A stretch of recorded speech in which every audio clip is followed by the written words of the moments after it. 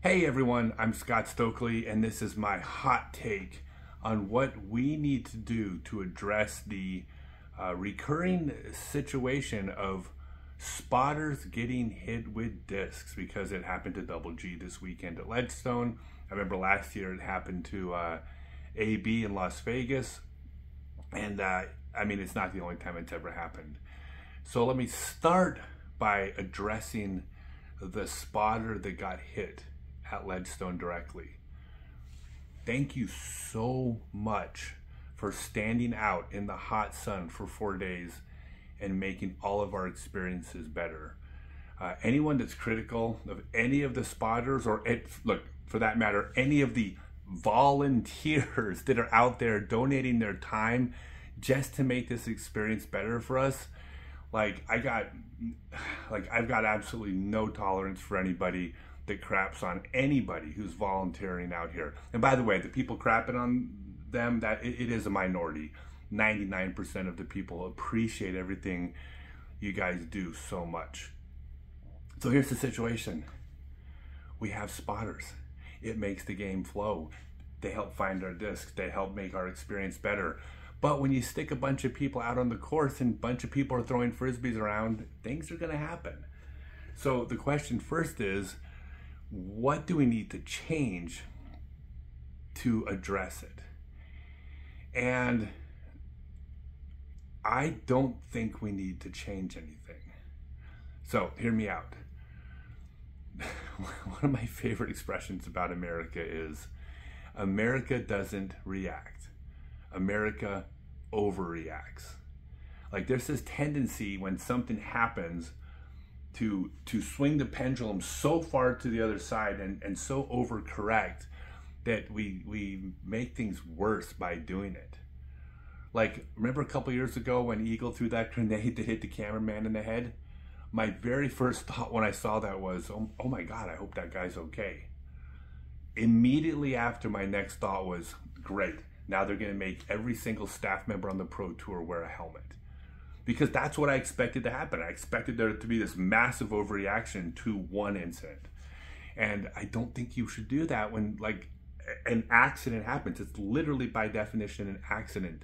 It's it's it's human nature. People make mistakes. I have been hit with a disc before. And I've been doing this longer than any of you.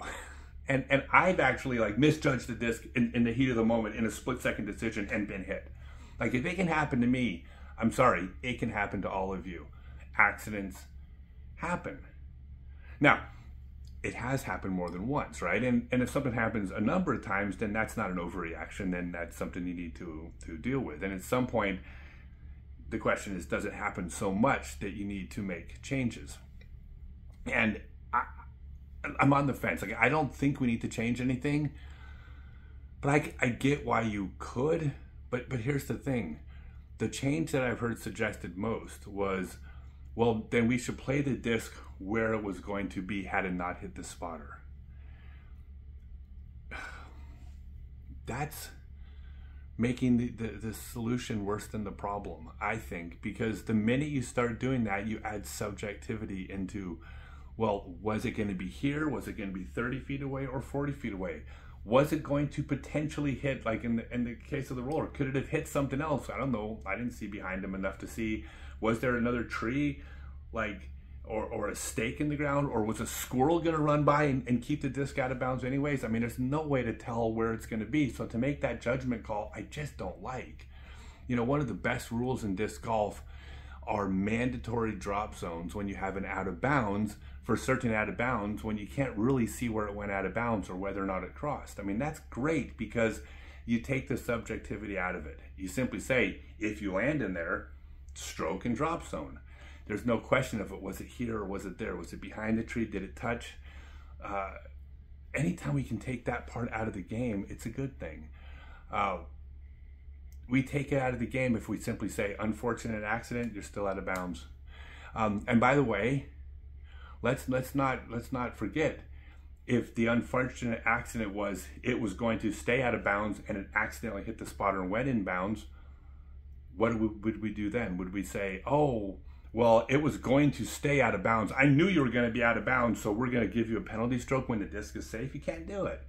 So I think what we do right now is we say it's an accident. It's a game. We're playing a game. This is not life or death stuff here. Uh, yeah, have Double G a stroke. He's a great guy. He can deal with a stroke. He's a professional.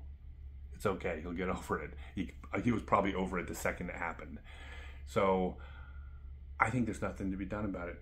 I don't think we need to overreact. I don't even think we need to react. You know, if we do react, I don't know what solution would be better than the problem. So I say we uh, we leave it as is, and every once in a while we get an unfortunate Instagram reel. Anyways, that's my hot take.